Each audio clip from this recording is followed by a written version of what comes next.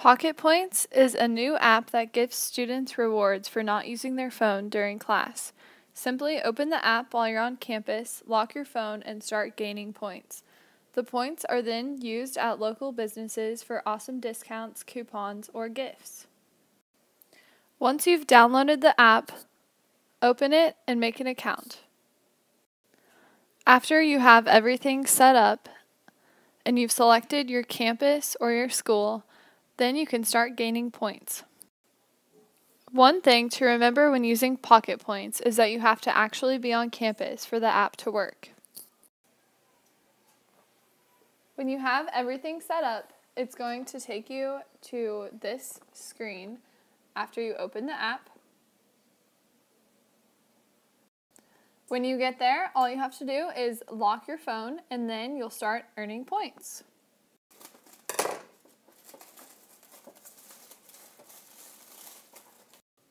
Now, if you hit the gift box in the top right corner, then it's going to take you to what you can earn on the app.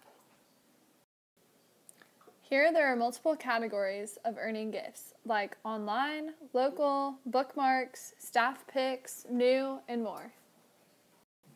There are some seriously awesome steals that you can get while using Pocket Points. You can return back to the home screen or menu by selecting this little button up here. It will take you to a menu where you can see your profile and it will give you the options of home, gifts, leaderboard, free points, or help.